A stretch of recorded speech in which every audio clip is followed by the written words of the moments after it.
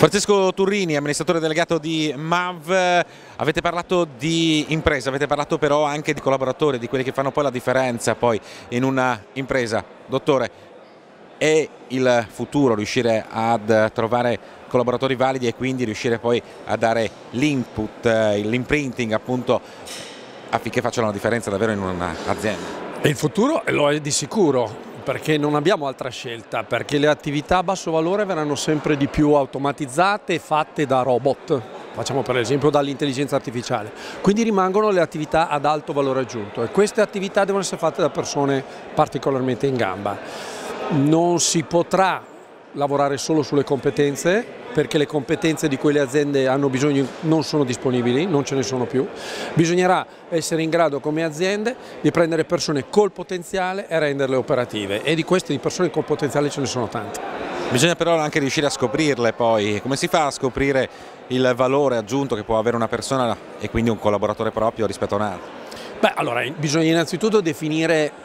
la, il profilo della persona che si vorrebbe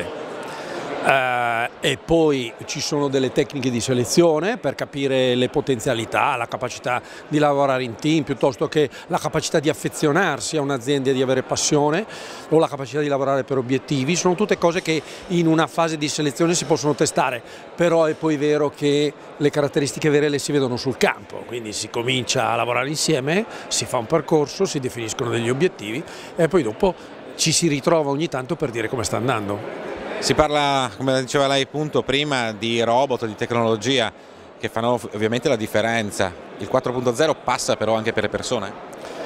La 4.0 passa soprattutto dalle persone, prima dalle persone che dai robot, perché le persone saranno quelle che definiranno ad esempio i nuovi modelli di business, non saranno i robot a definire nuovi modelli di business. Quindi è fondamentale, soprattutto se non sappiamo che cosa succederà nei prossimi dieci anni,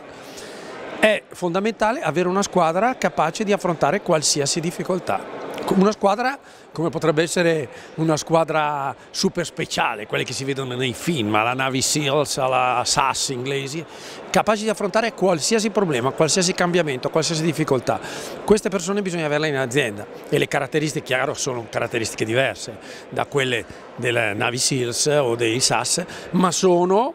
le caratteristiche comuni a quelli, cioè la passione, la motivazione, la capacità di lavorare insieme, lavorare insieme e anche aiutarsi a vicenda per ottenere risultato, la capacità di non mollare mai a fronte alle difficoltà, perché di difficoltà ce ne saranno nel prossimo futuro, la capacità di far accadere le cose e queste, queste, queste caratteristiche qua sono le, le caratteristiche delle persone di cui avremo bisogno nel prossimo futuro.